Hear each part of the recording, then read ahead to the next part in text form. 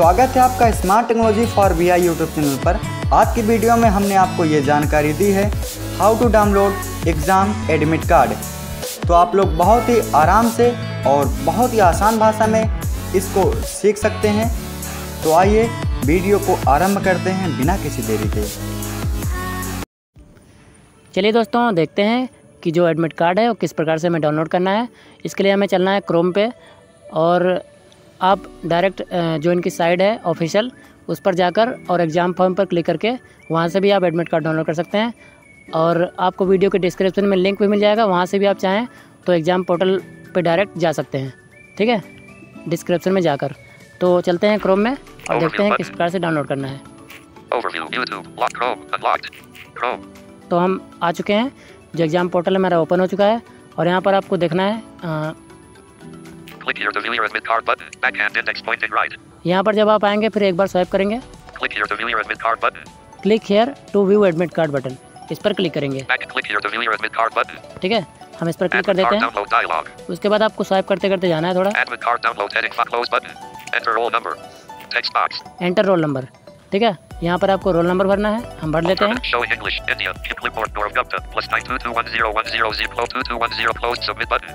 और हमने ये रोल नंबर भर लिया है। और सबमिट पर क्लिक कर देते हैं।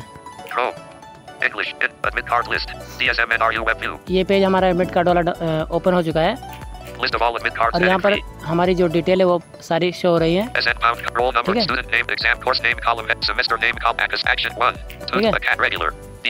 अब स्वाइप करते करते आप लोगों को जाना है।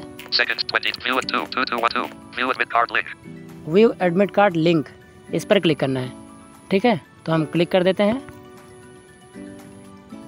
अब यहाँ पर नया पेज ओपन हो चुका है और यहाँ पर जो आपके पेपर कोड हैं पेपर नेम है सारे शो होंगे आप देख लीजिए। अगर आपका कुछ गलत है तो आप सही करवा सकते हैं। ठीक है? देख लेते हैं हम। ये देखिए सब डिटेल हमारी शो हो रही है। Sound 9. Line is 10. Dr. 11. Yes. As date. Sh- paper code. Paper 1. ये देखिए सारे जो पेपर कोड है हमारे और पेपर नेम है सारे जो हमने भरे थे वो हमारे शो हो रहे हैं अब यहाँ पर आपको प्रिंट का विकल्प मिल जाएगा एडमिट कार्ड को हमें प्रिंट करना है प्रिंट पर क्लिक कर देते हैं उसके बाद पीडीएफ को सेव करना है आपको। यहाँ पर दो पेज हैं। दोनों पेज आपको सेव कर लेना है। इस पर क्लिक कर देना है।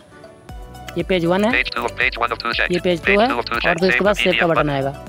तो सेव पर हम क्लिक कर देते हैं।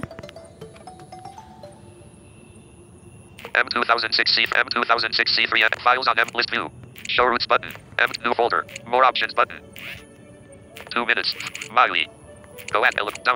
यहाँ पर हमें बोल रहा है कि हम किस फोल्डर में डालना चाहते हैं। तो आपके में ऐसा नहीं बोलेगा। डिफ़ॉल्ट अगर आपका फोल्डर लगा होगा। तो हम फोल्डर सेलेक्ट कर लेते हैं।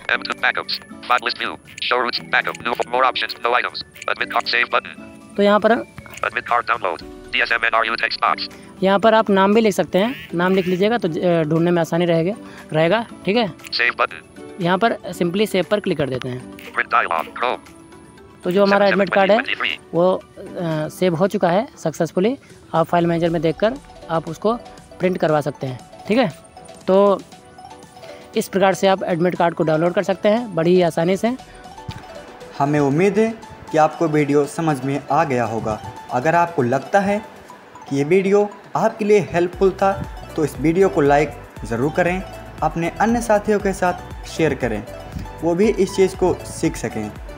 अगर आपको कोई भी समस्या होती है तो हमारे अबाउट सेक्शन में जाकर हमारे व्हाट्सएप पर डायरेक्ट मैसेज कीजिए, आपका पूरा हेल्प किया जाएगा। और हाँ अगर आपने सब्सक्राइब अभी तक नहीं किया हमारे चैनल को तो अभी करें।